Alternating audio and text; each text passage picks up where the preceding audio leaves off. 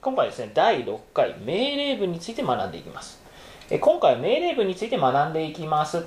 基本的に命令文とは、使いなさいや読みなさいといった、何々しなさいという文なのですが、ここでは、使ってください、読んでくださいという、何々してくださいという言い方や、使いましょう、読みましょうといった、何々しましょうという言い方も学んでいきますと。はい。命令文、今回は3種類ですね。はい。それでは詳しく確認していきましょう。それでは第5回の復習から入っていこうと思います。次の日本語を英語にしていきましょうと。1番、今日私たちはここから美しい山を見ることができますと。えっ、と、見ることができます。はい。えっ、と、これは can see の形ですね。Can watch ではないですね、今回は。えなぜかと言いますと、えー、と see っていうのは、まあ、見えると、えーそういった意味なのですが watch の場合はですね動いているものを注意して見るとか観察するっていう意味があるんですね、えーですので美しい山っていうのは、まあ、どちらかというと見えるという意味ですよね。ですので see が使われます、えーそしてですね主語私たちですね。ですので we です。はい we can see 何が見えるのかというと美しい山ですね。ですので we can see a beautiful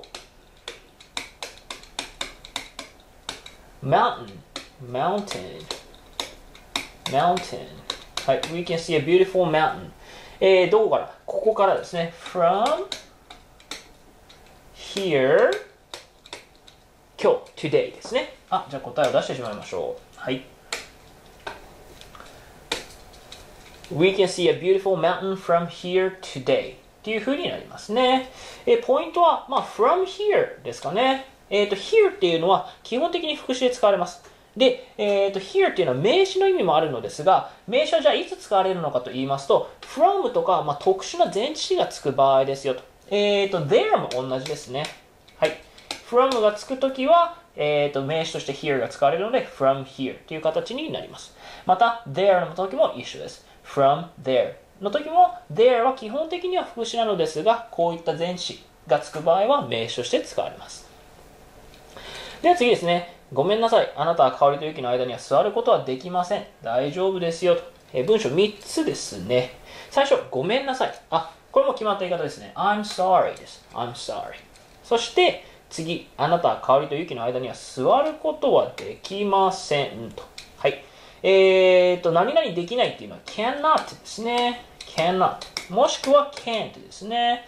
で、えーと、cannot。これは一つの単語ですので、ここくっつけてくださいね。そして、えーと、座る sit。cannot sit の形ですね。そして、えーと、今回は主語があなたですね。ですので、you。はい。You cannot sit どこに座れないのかっていうと、あ、香りと雪の間にと。えそうする場合、英語の場合ですと、間に香りと雪のっていう意味、あ、順番になるんですね。えーですので、You cannot sit between 香り、香り and 雪。はい。という形になりますね。はい。You cannot もしくは can't sit between はい。香り and 雪という風になりますね。よいしょと。そして、えー最後、大丈夫ですよと。あ、これフレーズですね。That's alright という形になりますね。That's alright。これが答えとなります。では次です。えー誰が日本語を話せるのですか？ジムが話せますと。えっ、と、誰が？と。はい、これ、who ですね。そして、えっ、と、あ、これは主語を聞く疑問文ですね。えーですので、この後肯定文の形を作れば OK です。そして、話せると、話すことができるってことですね。えーですので、who can speak 何を話せるのですかって言ったら、日本語、Japanese ですね。はい。Who can speak Japanese? っていう文章になります。そして、ジムが話せますよって言いたい場合は、まず主語 GM ですね。GM、JIM ですね。GM、そしてここを can で聞いているので、答えるときも can ですよと。GM can というふうになります。次です。あなたのバスケットボールを借りてもいいですか？はい、いいですよ。はい、どうぞと。えー、3つの文章ですね。えー、では最初の文なのですが、えー、これはですね、あ、借りてもいいですかと、許可を聞く can の疑問文ですね。そうしますと、can が最初に来まして、あ、これ主語、私はが抜けてますね。ですので、can I? 私は借りてもいいですか？あなたのバスケットボールという文章になりますので、can I 借りる borrow ですね。borrow えー、あなたのバスケットボール your basketball あ、これも出してしまいましょう。はい。can I borrow your basketball? というふうになります。そして答えなのですが、はい、いいですよと。えー、これは yes, かま can I で聞いてるんですから、答えるときは you ですよね。yes, you. yes, you. そして can で聞かれているので can というふうになりますね。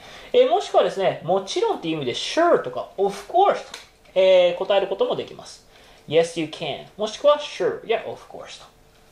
そして、はい、どうぞというフレーズですね。えっと、これはもう決まった言い方ですよ。はい、はい、どうぞっていうのは、here you are というフレーズになります。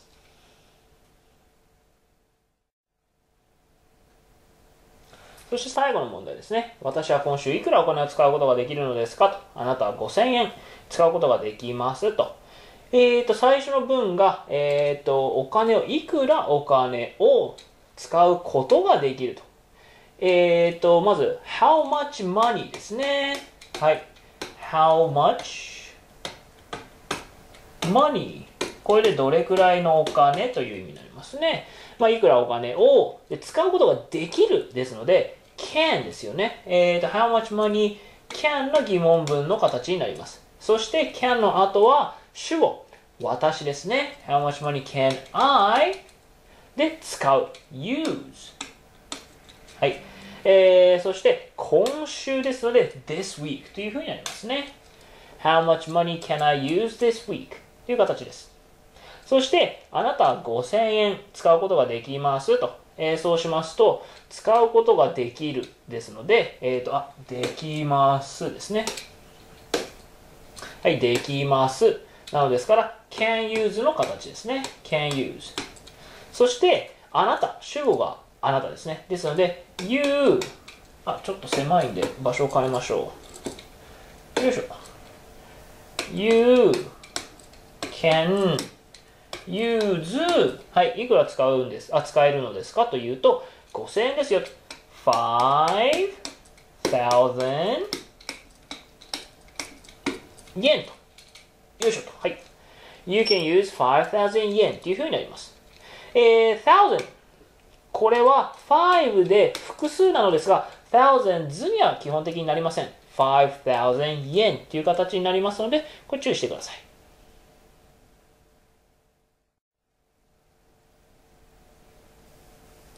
えそれでは今回の練習で新しく登場する単語やフレーズ、これらを確認していこうと思います。え運ぶ。これ carry という動詞ですね。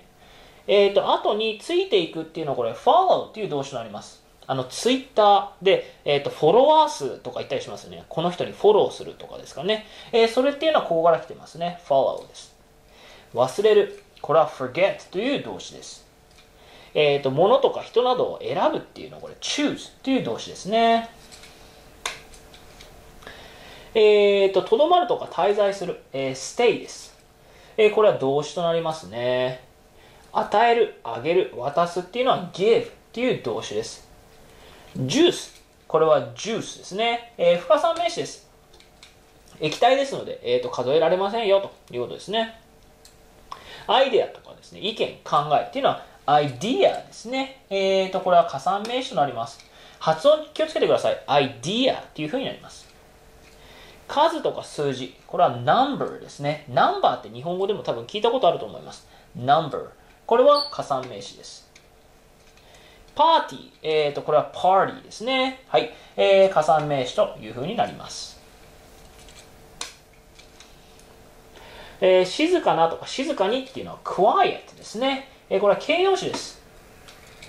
えっ、ー、と、悲しい、悲しむっていうのは sad。これも形容詞ですね。近い、近くにっていうのは near っていう言葉を使います。でこれはですね、形容詞でもいけますし、副詞でもいけます。えーと、次ですね。何々に遅れるとかですね。いつもより遅いとか、遅れてっていうのは late って言葉を使います。で、えーと、late for なんとかっていうのはですね、何々に遅れる場合ですね。例えば、late for school って言ったら学校に遅れるといった形になります。late for 何々です。えー、これ形容詞、副詞、両方ともいけますね。えー、就寝するとか、えー、寝床につくっていうのはこれ go to bed というフレーズですね。go to bed っていう風になりますね。えー、フレーズですのでしっかり覚えてしまいましょう。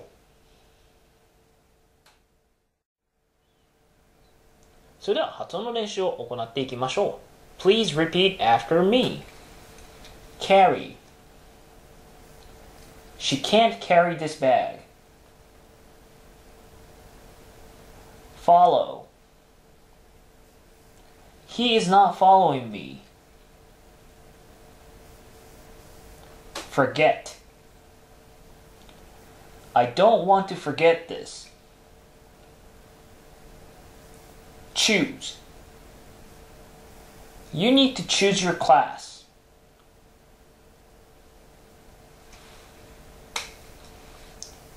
Stay. Do you want to stay here? Give. Can you give it to him?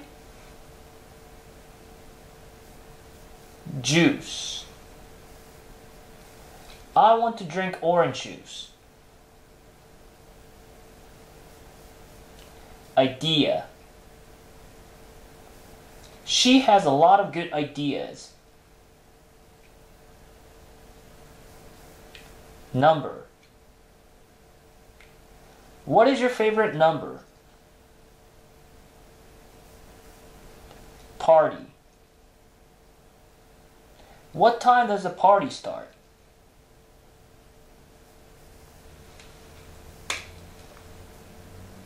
Quiet.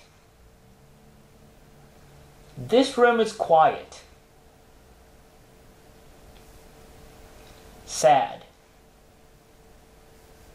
Why are you sad? Near.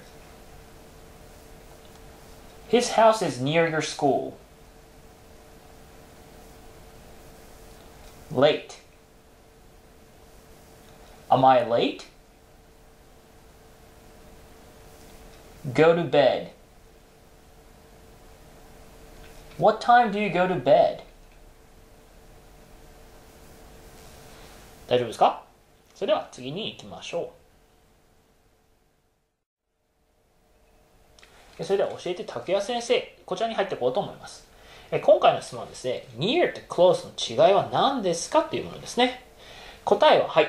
多くの場合、near と close は同じ意味で使われるんですね。しかし、何々に近いという表現をする場合、まあ、どこに近いかを言う場合ですね。えこの場合は、near は前置詞がいらないのに対して、close は to をつけないといけませんので注意してくださいねと。はい。どういうことなのかと言いますと、えっ、ー、と、his house is near と his house is close。これは両方ともですね、えっ、ー、と、彼の家は近いですよっていう表現なのですが、えっ、ー、と、私の学校に近いと言いたい場合は、his house is near my school。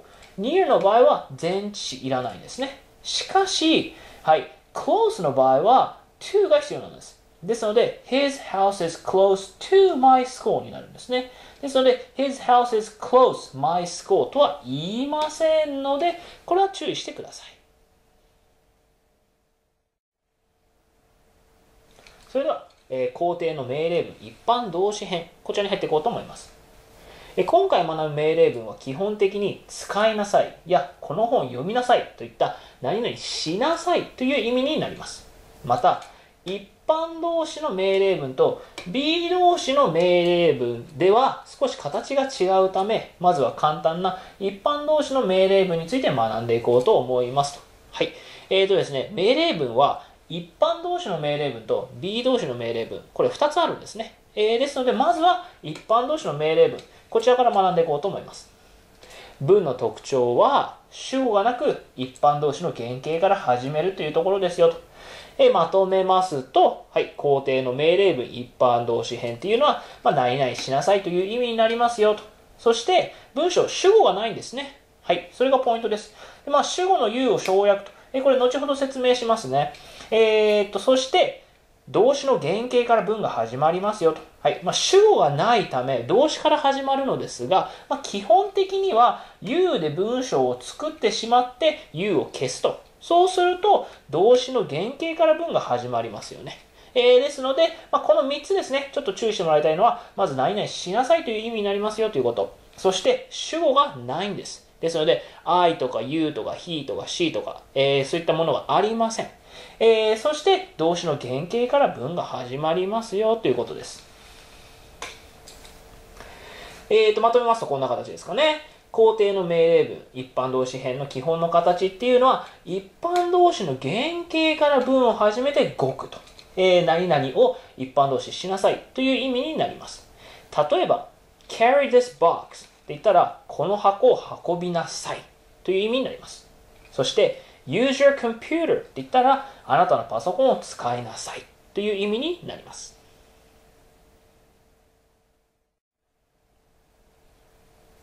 そして作り方なのですが、えステップ2つあります。まずステップ1、U を主語にした肯定文を作ってください。そして、ステップ2、主語の U を消すと。えっ、ー、と、例えば、この箱を運びなさいという文を作る場合、まず U を主語にした肯定文を作るんですね。つまり、あなたはこの箱を運びますという文章です。そうしますと、You carry this box となりますよね。そして、主語の U を消すと。この U を消してしまうと、はい、carry this box となり、これが命令文の形となります。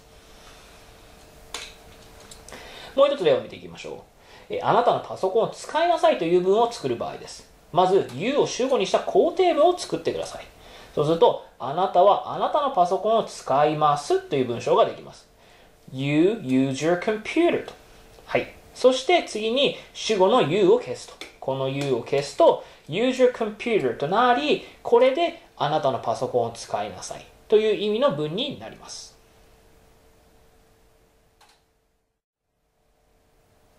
それでは練習問題をいくつか解いていきましょう。えー、次の括弧に適する語を書いていきましょうと。1番、あなたの先生についていきなさいと。えっ、ー、と、これはですね、あなたはあなたの先生についていきますという文章を考えてもらえばいいんですね。そうしますと、you はい。そして、あなたの先生についていきます。ついていくという動詞は follow ですね。You follow えっ、ー、と、あなたの先生に your teacher ですよね。your teacher っていうふうになりますね。はい。で、えっ、ー、と、ポイントは you を消すと。そうしますと、follow your teacher。はい。これで、あなたの先生についていきなさいという文章になるんですね。ですので、はい、最初の括弧は follow。で、次の括弧が teacher というふうになります。次です。3色選びなさいと。えー、そうしますと、あなたは3色選びますという文章を作ればいいんです。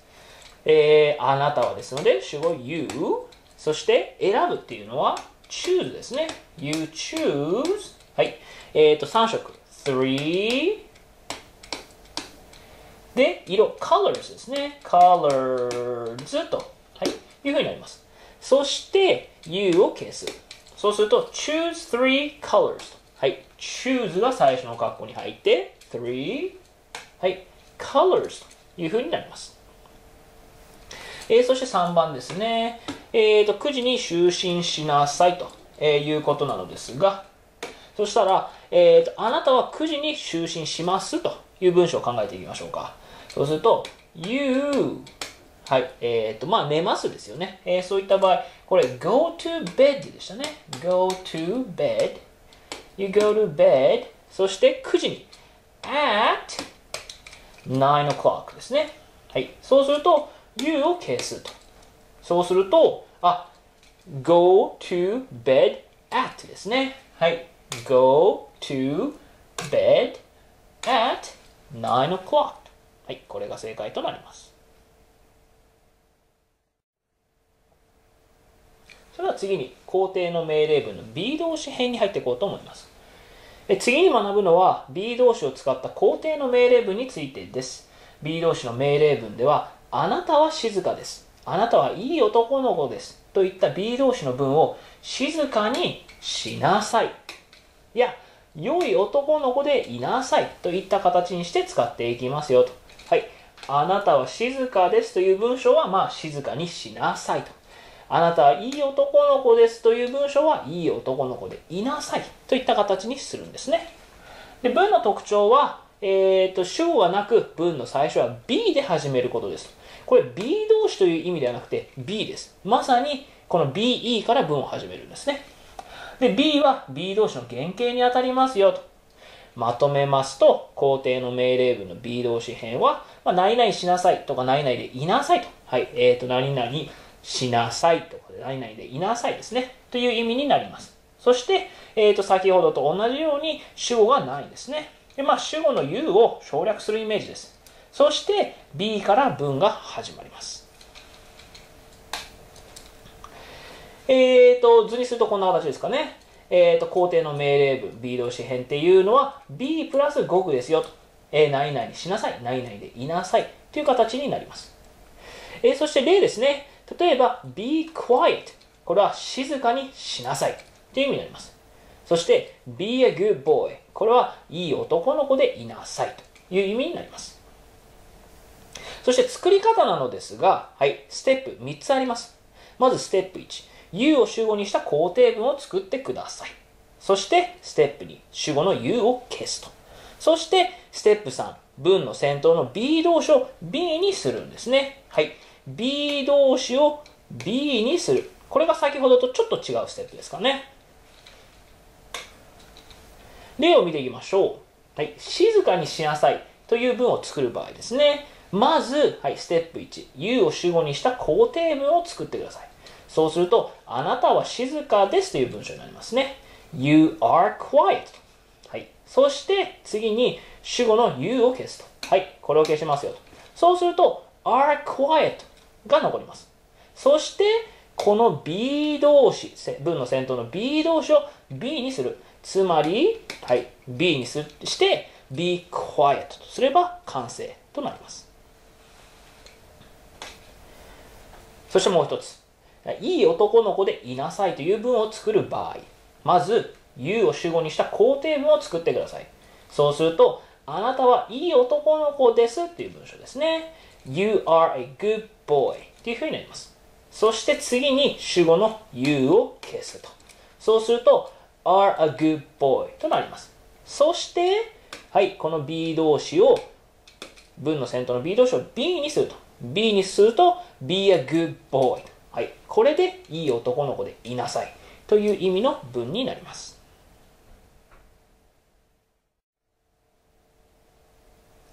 それでは練習問題です。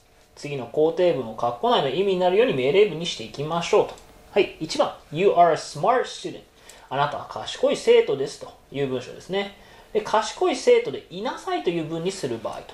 はい。もうすでに文ができていますので、ポイントは、えー、っとですね、主語を消すと。そして B 動詞から始まる形のこの B 動詞を、まあ、B と BE の形にすれば OK です。ですので、まず You are a smart student この主語を消す。そしてこの B 動詞を B にして、はい、あとは a smart student を足せば完成となります。つまり、はい、be a smart student これで終了です。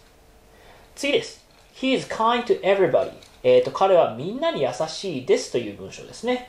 みんなに優しくしなさいという文章に変えていかなくちゃいけないのですが、これも考え方は一緒です。he から始まっていますが、まず主語を消しますよと。そして、この B 動詞の is を B の形にして、kind to everybody と。はい。そうしますと、はい、こうですね。be kind to everybody。これで完成となります。そして3つ目。She's quiet because Tom is talking. えっ、と、彼女は静かですよ。なぜならば、なぜならば、トムが話しているからですという文章ですね。では、トムが話しているから静かにしてと、えー、命令文ですね。えー、この形にするにはどうしたらいいのかと言いますと、はい、ここですね、静かにして、なぜならトムが話しているからという形にするので、まず主語を消します。そして、この is を be に変えてあげれば OK と。ですので、be quiet because Tom is talking はい。よいしょと。はい。be quiet because Tom is talking これで完成となります。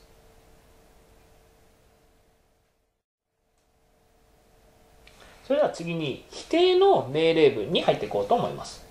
で次に学ぶのは何々しないでといった否定の命令文についてです。例えば、このジュースを飲まないで、悪い生徒ではいないでと言いたいときに使う表現なんですね。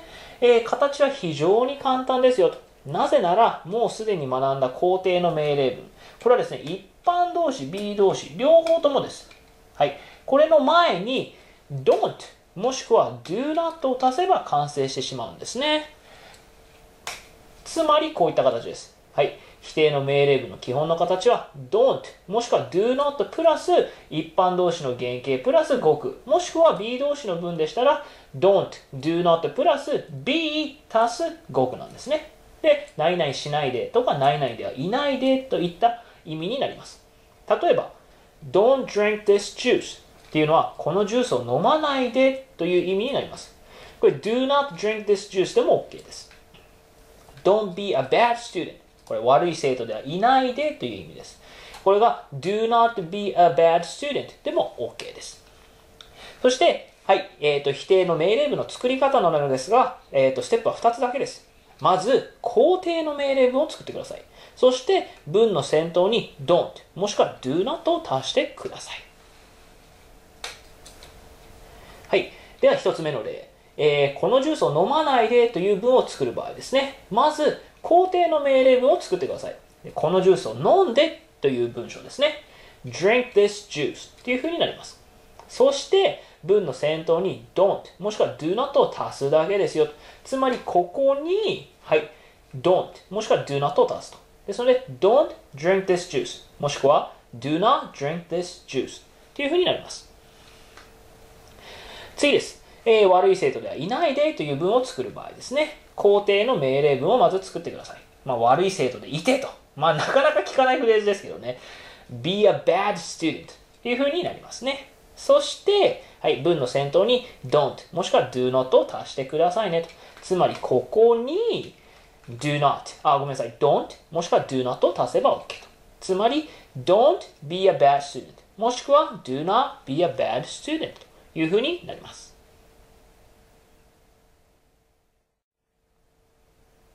それでは練習問題をいくつか解いていきましょう。それぞれの日本語と同じ意味になるように次の括弧内の語とカンマを並べ替えていきましょう。ただし、各括弧に使わない単語、もしくはカンマが1つ含まれていますので注意してください。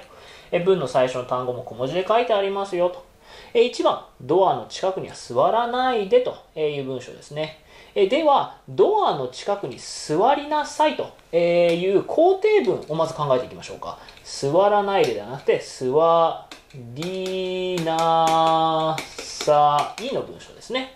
そうしますと、えっ、ー、と、最初、これは sit 動詞の原型から始めるんですよね。ですので、sit ドアの近くに。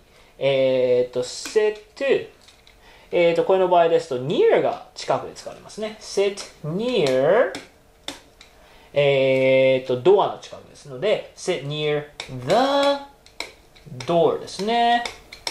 はい、と sit near the door sit、えー、near the、えー、door になりますね。えー、ここ the が必要ですね。なぜかというとですね、まあ、命令文の場合、えっ、ー、と、これ話しかけてるわけですよね。えっ、ー、と、ドアの近くに座りなさい。じゃあもうその時点でどのドアについて話しているかって限定されてますよね。ですので、the が必要になってくるんです。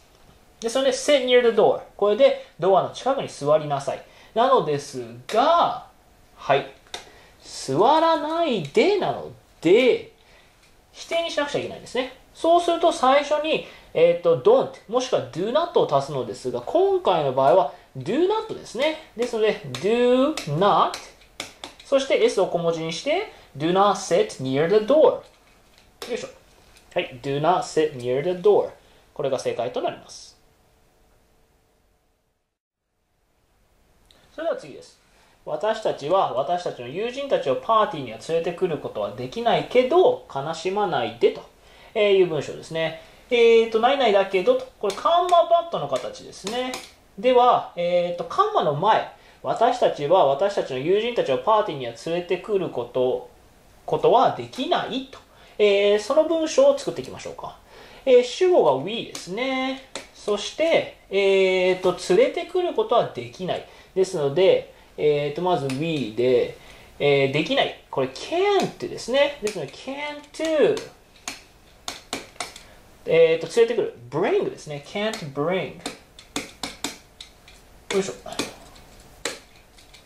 can't bring えー、ですので we can't bring えー、っと、私たちの友人たちをと。we cannot, or we can't bring our friends ですね。私たちの友達を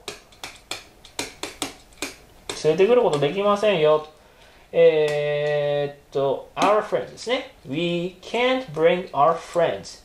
えー、どこにって言ったら、えー、っと、パーティーにと。ってことですので、We can't bring our friends to, to, to the party ですね。はい、もうこの時点でどのパーティーについてお話をしているかっていうのは、えっ、ー、と、話をしている当事者の間では分かってないとおかしいです。ですので、we can't bring our friends to the party で、カンマですね。はい。これありますね。we can't bring our friends to the party よいしょと。よいしょと。はい。このようになりますね。そして、あ、カンマも消さないといけないですね。えっ、ー、と、しかし、but、はい、but、but、はい、えっ、ー、と、残ってるのは、えっ、ー、と、and か sad, don't, be ですね。えー、そうしますと、えっ、ー、と、悲しまないでと。えっ、と、悲しみなさいっていうのは be sad ですよね。えー、ですので、これの否定文なんですから、don't be sad もしくは do not be sad の形になりますよね。えー、ですので、えー、今回の場合、あ、don't ですね。but don't そして、あ、B がありますね。B、そして sad ですね。えっ、ー、と、まあ、and を使わなかったっていうことですね。はい。but don't be sad これが答えとなります。次です。これらの数数字を忘れないでと。本当に大切だからという文章ですね。えっ、ー、と、最初はこれ、命令文ですね。えっ、ー、と、否定文の、あ、命令形の否定文と。えー、いうことですね。えー、そうしますと、え、っと、忘れる、え、これらの数字を忘れてという文章の場合ですと、まず動詞から始める。忘れて。ですので、forget から始まりますね。forget。忘れてこの数字をと。forget。え、っと、これらの数字を。えー、these えー、numbers ですね。はい、these numbers。っていうふうになりますね。えーと、しかし、忘れないでなのですから、don't を出さないといけないですね。don't で、forget。これ F 小文字になりますね。はい。don't forget these numbers というふうになりますね。よいしょと。そして、はいと。えー、大切だから、えー、because はここに来ますね。because はい、because え、っと、大切だからと、えー、っと、主語は抜けてますね。えー、つまり、これらの数字のことを言っているので、they が使われますね。それらは because they あ、こっちちょっと消してしまいましょうか。because they えー、そして B 動詞が必要ですね。they are ですね。はい。とても重要、あ、とても、あ、本当に大切だからと。ですので、they are really important ですね。because they are really important. はい。because they are really important. これが答えとなります。それでは次に丁寧な命令文について学んでいこうと思います。え次に学ぶのは、何々してくださいとか、何々しないでくださいといった丁寧な命令文の作り方です。え例えば、このペンを使ってください。パーティーに遅れないでください。などと言いたいときに使います。ここで登場するのは please という単語なんですね。でこれを肯定否定関係なしに命令文の先頭に置けば大体完成となりますえ具体的に言うとこうですね。丁寧な命令文の基本の形っていうのは、肯定文の場合、はい、肯定の命令文を作りまして、その前に please を足すだけですよと。そうすると、何々してくださいとか、何々でいてくださいという丁寧な、えーと、命令文が完成します。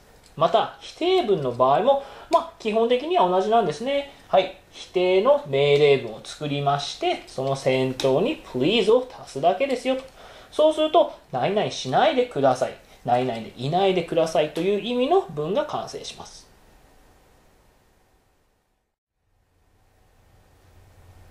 そして例なのですが、えーと、please use this pen で、これですね、このペンを使ってくださいという意味になります。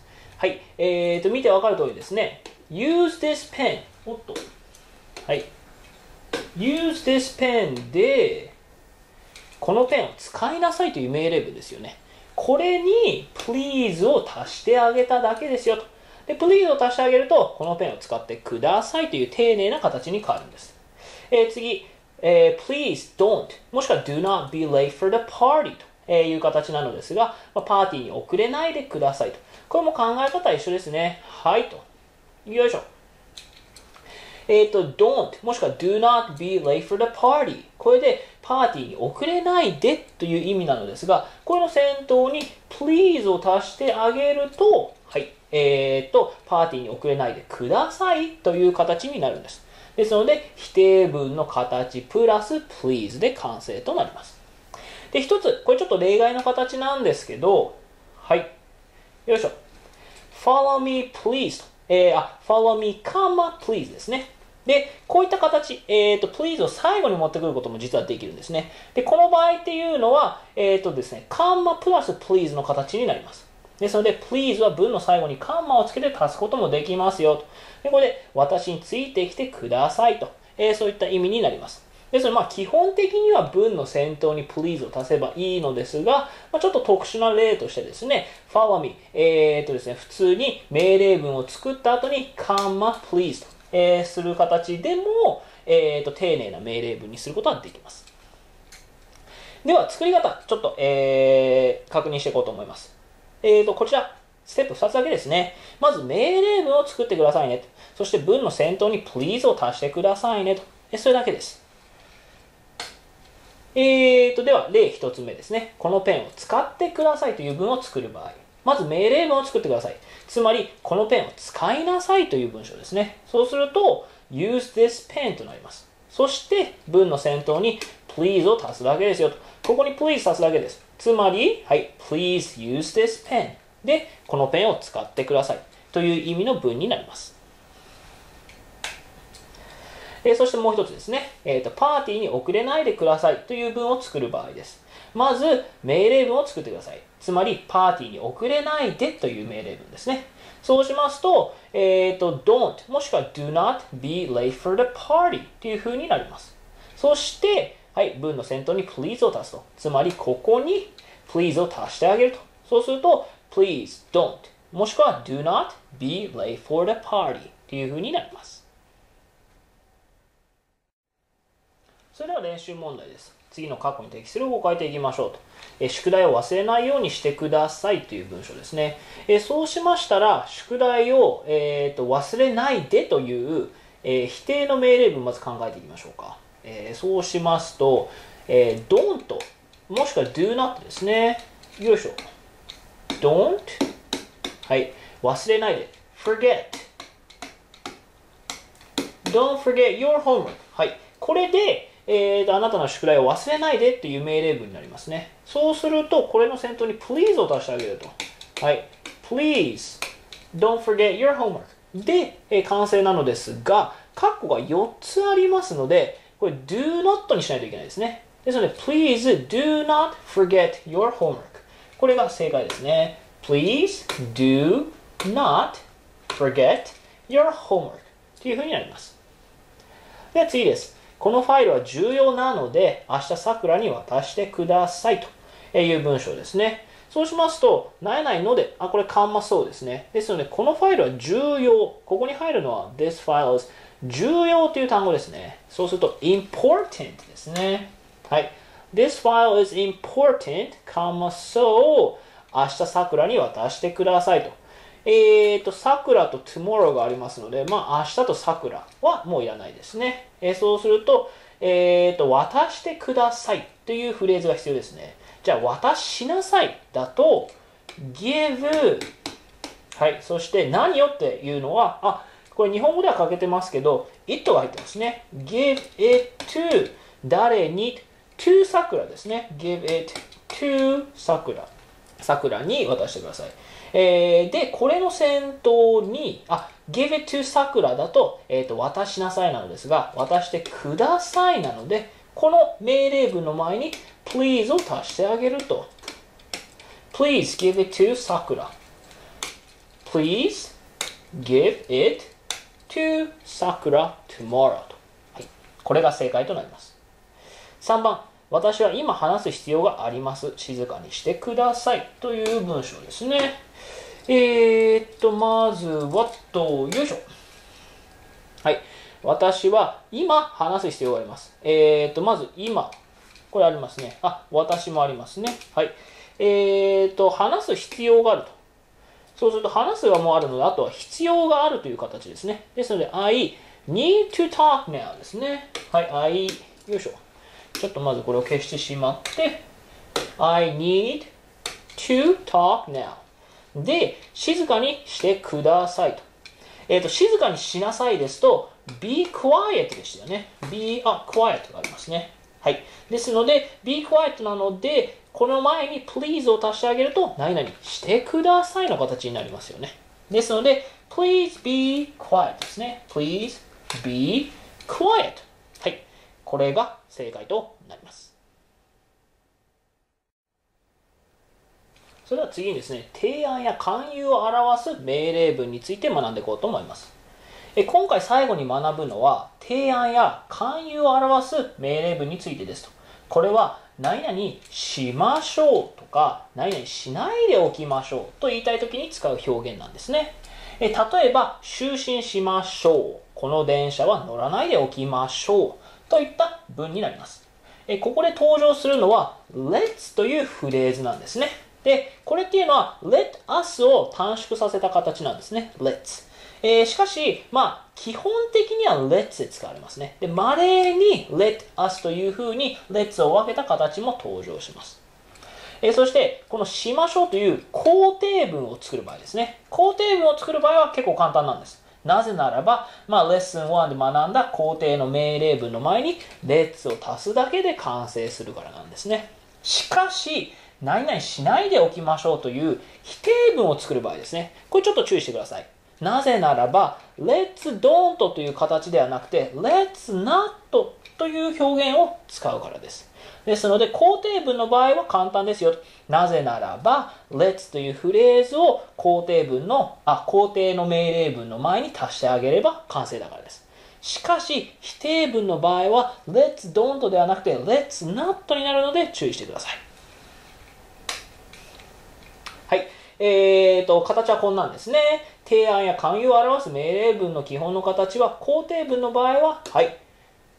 このようにですね、肯定の命令文の前に let's を足してあげれば OK なのですが、否定文の場合は don't は使われないんですね。代わりに let's not という形になります。そして、はい、一般動詞の原型、もしくは B プラス語句という形になります。で、肯定文の場合は何々しましょうなのですが、否定文の場合は何々しないでおきましょうという意味になります。例はこうですね。例えば、えっ、ー、と、let's go to bed。もう就寝しましょうと。もう寝ましょうって言いたい場合は、はい、go to bed でも寝なさいですが、これの前に let's を足して就寝しましょうという形になります。えー、また、否定文の場合ですね。let's not take this train この電車乗らないでおきましょうと。はい。えっ、ー、と、この電車には乗らないでと言いたい場合は、do not もしくは don't take this train ですよね。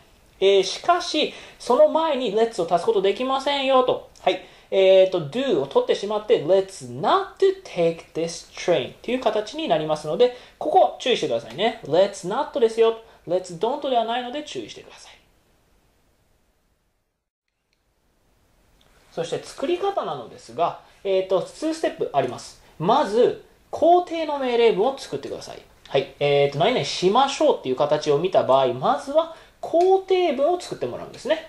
で、その後にもし、はい、何々しましょうという肯定文だった場合は、let's を文の最初に足してください。しかし、何々しないでおきましょうという否定文の場合は、let's not を文の先頭に足してください。例えば、はい、1番ですね。就寝しましょうという文を作る場合、肯定の命令文を最初に作ってください。つまり、就寝しなさいという文章ですね。そうすると、go to bed というふうになります。そして、今回の場合は、何々しましょうという肯定の形ですよね。何々しましょうという肯定文なので、let's を文の先頭に足してあげてください。つまり、ここに let's を足すと。そうすると、let's go to bed というふうになります。え次です。この電車乗らないでおきましょうという文を作る場合ですね。まずは肯定の命令文作ってください。つまり、この電車に乗りなさいという文章なんですね。take this train というふうになります。そして今回の場合は、乗らないでおきましょう、乗らないでおきましょうですので、何々しないでおきましょうという否定文なので、最初に let's not を、えー、足してあげてください。つまり、ここに let's not ですね。はい、let's not take this train という形になります。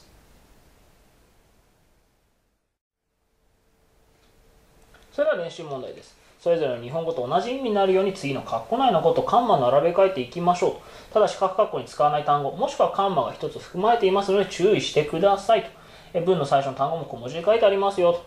1番、話さないで。え彼の意見を聞きましょうと。え最初はですね、これは、えー、否定の命令文ですね。えー、ですので、えー、これは do not はい話さないでで、えー、do not で動詞が話すですね。Talk ですね do not talk ですね。はい。Do not talk というふうになりますね。Let's not talk これ引っ掛けですね。Let's not talk ですと、まあ、話さないでおきましょうですので文章意味違ってきちゃいますね。ですのでここは do not talk の形になります。そしてはい次ですね。え彼の意見を聞きましょう。あ、何々しましょうという形ですね。えー、そうしましたら、まず彼の意見を聞きなさいという命令文考えていきましょうか。えー、そうすると動詞が最初に来ます。ですので、えっ、と、聞く。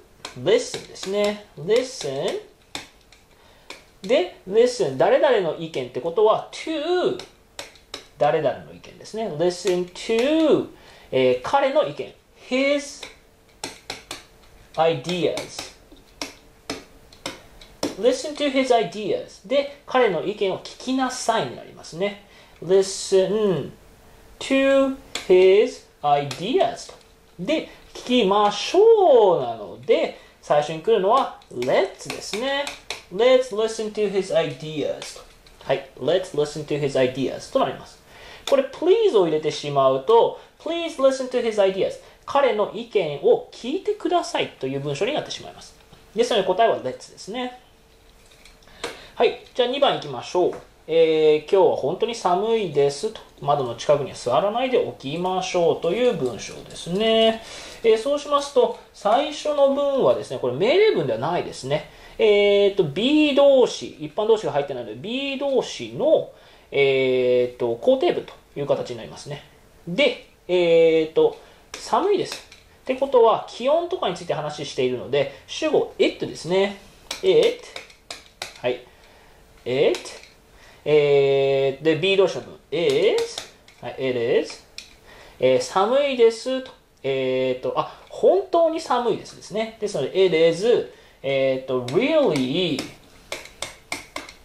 cold it is really cold えー、really cold today it is really cold today というふうになりますね。はい。it is really cold today そして窓の近くには座らないで置きましょう。何しないで置きましょうの形ですね。えー、そうしますと、えー、let's not の形となりますね。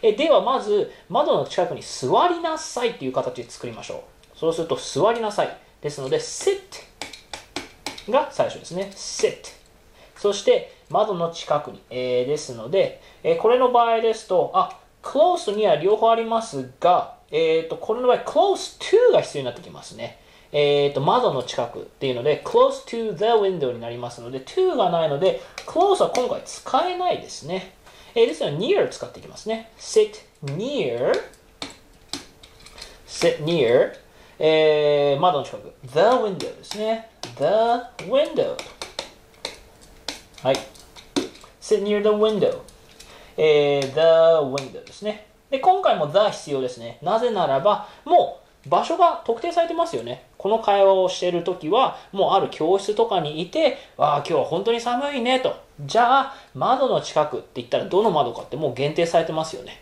ですので、窓の近くに座らないでおきましょうの、この窓には、監視の the を足してください。sit near the window これで、まあ、窓の近くに座りなさいなのですが、何々しないでおきましょうという場合は、最初に let's not を足すんですよね。ですので、let's not はい。Let, あ、じゃあこれも答え出してしまいましょう。はい。Let's not sit near the window っていうふうになりますね。それでは次です。湯沢先生、過去男性が話しているので静かにしましょうと。えー、これ、カンマ層の形ですね。えー、そうしますと、湯沢先生が話していると。えー、Mr. 湯沢があれですね、主語ですね。Mr. 湯、湯沢はい。Mr. 湯沢で話しているですね。これ、現在進行形の形ですね。そうしますと、えっ、ー、と、B 動詞プラス動詞に ing と。えー、Mr. 湯沢 is はい、まず is が必要ですね。はい、is 話している。talking ですね。はい、is talking で、カンマですね。はい。Mr. 湯沢 is talking カンマ。そして、よいしょ。そして、えっ、と、そう。だから、そう。静かにしましょう。で、静かにしてくださいって言いたい場合は、be quiet ですよね。be quiet。よいしょ。となりますが、何々しましょうですので、この前に let's を足してあげないといけないですね。let's be quiet. let's be quiet という形になりますね。あ、B が2つあります。この B はいらないですね。はい。よいしょ。So, let's be quiet という形になります。それでは次の問題です。日本語を英語にしていきましょうと。1番、私の電話番号を忘れないでという文章ですね。えー、そうしますと、忘れないで、えー、これは否定の命令文ですね。えー、そうしますと、don't もしくは do not 忘れる。forget ですね。don't forget もしくは do not forget、えー、何をって言ったら私の電話番号ですね。my phone number ですね。phone number もしくは telephone number ですね。はいと。Don't もしくは do not forget my よいしょとはい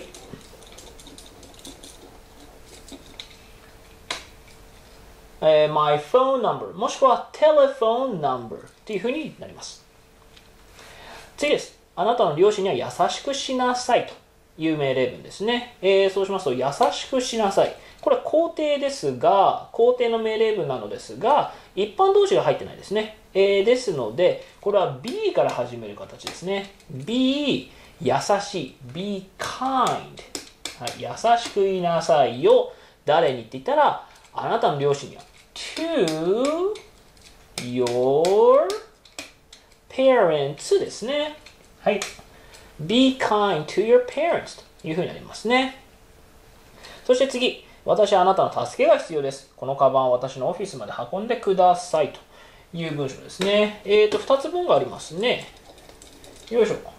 最初の文は、えっ、ー、と、一般動詞のえー、私が主語の文章ですね。そうしますと、I、えー、必要です。need 何が必要なのですか？というと、あ、あなたの助けが必要です。ですので、I need your help ですね。I need your help. よいしょ。となりますね。I need your help. そして、2つ目の文が、このカバンを私のオフィスまで運んでくださいと。はい。何々してくださいの形なので、えー、運んでください。えー、please が最初きますね。please。そして、運ぶ。これ carry ですかね。えー、しかし何？あ、カバンの場合これ take でも OK ですね。please。carry が take。何をって言ったら、このカバンを私のオフィスまで。ですので、please carry this bag このカバンを持ってってねと。えー、to my office 私のオフィスまで to my office と。はい、というふうになりますね。please carry もしくは take this bag to my office というふうになります。それでは次です。えー、明日私たちは早く起きる必要がありますので、今寝なさいという文章ですね。えー、これ、カンマそうの形ですね。えー、では、明日、え私たちは早く起きる必要がありますという文章をまず考えていきましょうか。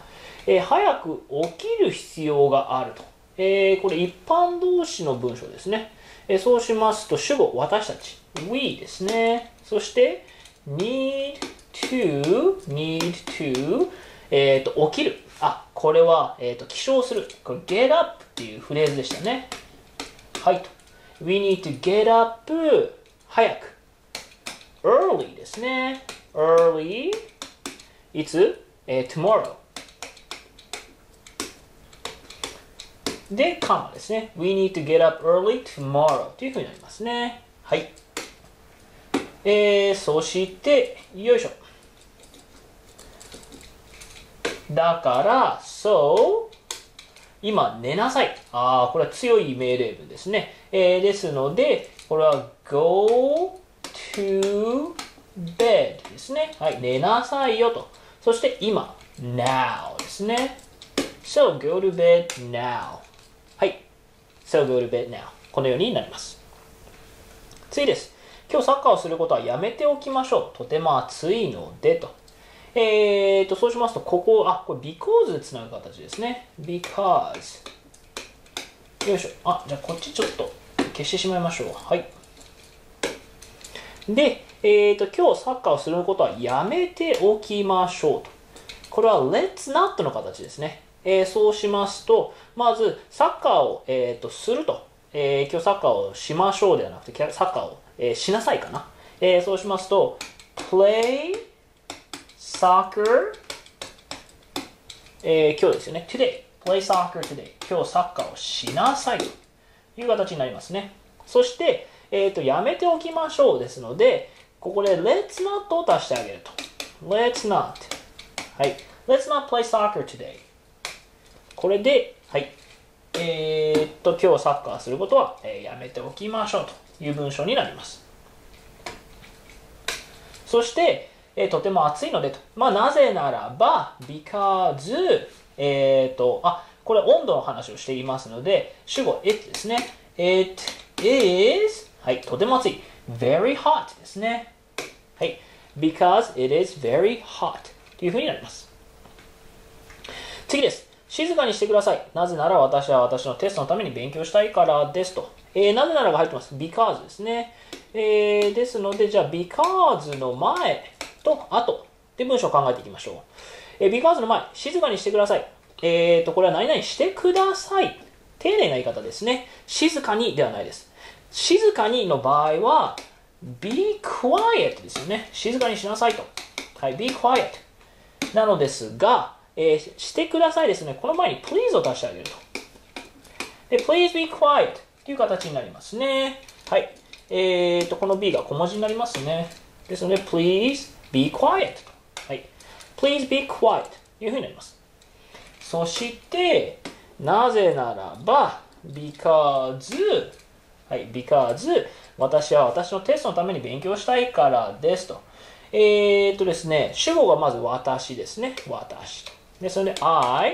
で、これは勉強したい。はい。ということは、これ一般動詞の文章ですね。えー、っと、ですので、勉強したい。これ一般動詞の文ですので、because I want to study はい勉強したいですよとえー、っと私のテストのためにと、えー、なんとかのためにっていう場合前置詞 for でしたね for my test はい because I want to study for my test because I want to study for my test はいこれが正解となりますそれでは次ですヒロの誕生日パーティーはいつですか？明日です。遅れないでね。という3つの文章ですね。最初の文章、これはいつという言葉が入っている疑問文ですので、when。when。はい。そして、ヒロの誕生日パーティーが主語。よいしょ。はい。えー、そして、これには一般動詞入ってませんので、B 動詞の文章ですね。when is えっ、ー、と、heroes heroes birthday party ですね。はい。When is Hero's birthday party? っていうふうになりますね。そして、えっ、ー、と、明日ですと。あ、これは主語が抜けてますね。それはっていう主語が必要ですので、It is tomorrow ですね。はい。It is tomorrow. そして次が、遅れないでねと。はい。これは、えっ、ー、と、遅れないでくださいではないですね。えっ、ー、と、ですので、普通の、えー、否定の命令文となりますね。そうしますと、don't そして、えー、とこれは be 動詞の形ですので、don't be late ですね。はい。don't be late。もしくは do not be late という形になります。はい、次です。あなたの弟さんは喉が渇いているのですか？このジュースを彼にあげましょうという文章ですね。えー、そうしましたら、えー、最初は、えー、とこれはあなたの弟さんが主語の、えー、と B 動詞のえー、疑問文ですね。はい。えー、そうなります。そうすると、えっ、ー、と、is あなたの弟さん、your brother はい。えっ、ー、と、喉が渇いてる。これ、thirsty っていう形容詞でしたね。is your brother thirsty? っていう風になります。そして、次の文章が、このジュースを彼にあげましょう。はい。あげましょう。何々しましょうですので、let's の形ですね。えーと、では、このジュースを彼にあげなさいと。えー、そういった命令文だった場合、まず give ですね。give このジュースを彼に。give this juice this juice to him となりますね、彼に。えー、ですけど、あげましょうですので、ここに来るのは let's ですね。はい。Let's give this juice to him. はい。Let's give this juice to him. という形になります。もし、このジュースを彼にあげてくださいだったら、これ please ですね。Please give this juice to him. という形になりますね。はい。では9番いきましょう。えー、っと、ちょっとこれを消してから、よいしょと。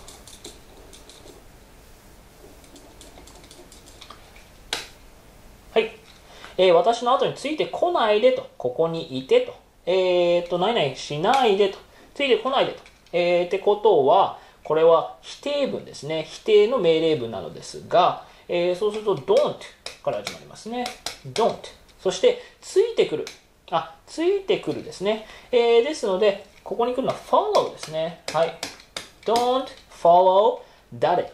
私ですね。don't follow me。まあ、もしくは do not follow me ですね。はい。don't もしくは do not follow me そしてここにいてこれも命令文ですね。えー、そうしますと、えー、っと、いて、ここにという順番ですね。そうすると、いて、これ stay ですね。stay、ここ、here ですね。stay here という形になりますね。おっと。はい。stay here。これが正解となります。そして最後の問題。3本のペンを選んでください。なぜ私は3本のペンを選ぶ必要があるのですかという2つの文章ですね。え最初、えーと、選んでくださいと。ってことはこれ please の形ですね。please。そしてこれは肯定、肯定ですね。肯定の命令文ですので、please 選ぶ。choose ですね。please choose。はい。えー、3本のペンは3 pens ですね。あ、答え出してしまいましょう。Please choose three pens というふうになります。よいしょ。そして次が、えーなぜ私は3本のペンを選ぶ必要があるのですかと。なぜと。えー why ですね。そして、選ぶ必要があると。えーってことは、これは一般動詞の、えーと文章ですね。そして主語が私です。つまり、えー why do I の形になって、選ぶ必要がある。Need to choose はい、えー、3本のペンをと。ですので、Why do I need to choose three pens? というふうになりますね。はい、Why do I need to choose three pens? と。はい。はい、はい、これが正解となります。それでは、はい、まとめとして今回学んだこと、気づいたこと、反省点を書いて、今回の練習をおしまいにしていきましょう。